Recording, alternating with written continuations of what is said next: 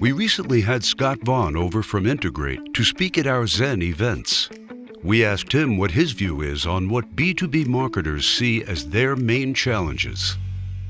The first is uh, not everybody's going to come to your website.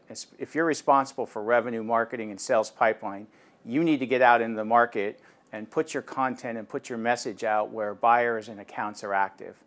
The second thing is when you're collecting that data, a lot of the data is incomplete or inaccurate. Dirty data is going to be a killer to your ability to generate pipeline. And the third thing is we're all accountable today. You need to be able to measure that investment you're making in driving demand and, and making media work.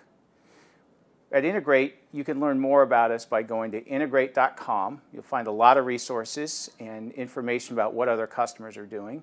And also, we have a partner in Europe, uh, LeadFabric. They're a fabulous resource and a consultancy and an advisory that can help you really tackle these challenges.